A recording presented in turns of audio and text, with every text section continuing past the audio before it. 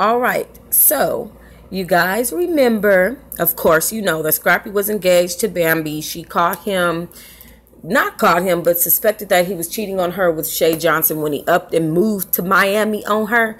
Okay, now it looked like he had been back with Erica Dixon. They went on a romantic trip to Punta.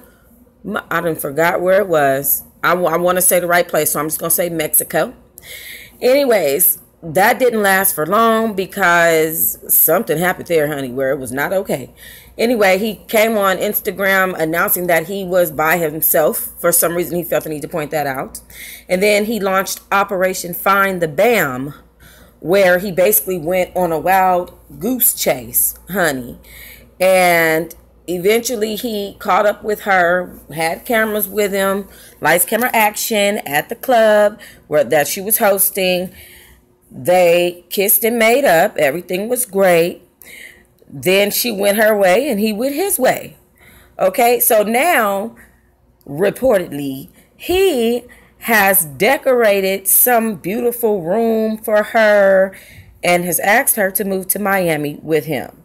Well, now let me tell you why that shocks me. Shocks me because Shay Johnson is also in Miami. So this whole thing could get ugly if it you know if it gets now if you believe that it's real this could get ugly if you like it even though it's scripted this could get ugly but anyways there's an insider close to them that said Scrappy wants Bambi to move in with him in Miami. He intends to be with her 24 7, but she is not making it as easy as he was hoping.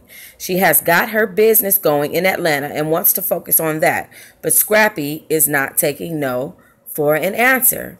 This insider says that Bambi is not convinced that he will even be faithful to her, so she wants to take her time.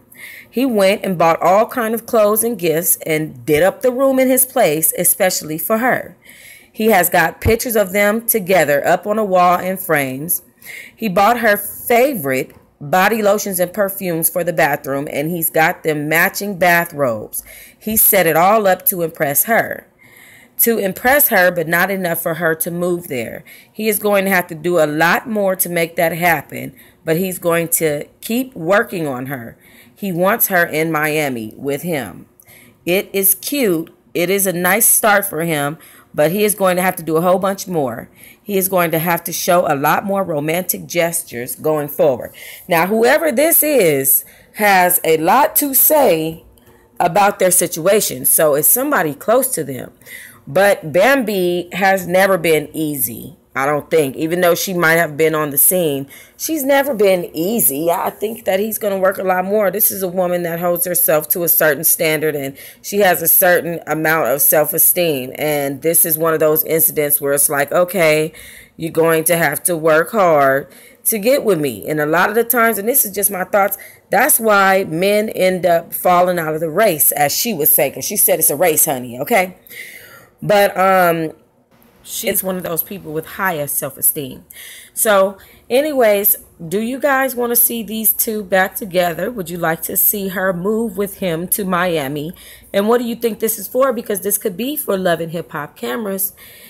And she said that before actually in a statement. She said, This whole love and hip hop thing is Scrappy's thing. I'm just there because I'm his girlfriend. She was quoted as saying that. And she also wanted to quit Love and Hip Hop at one point. I'm not sure if she did or not, but she said that she did quit, want to quit, and go to basketball wives. So I guess she didn't get cast on that. And so now he wants her in Miami with him. But see, that's just my assumption. What do you guys think? Make sure you leave your comments down below, like, and subscribe.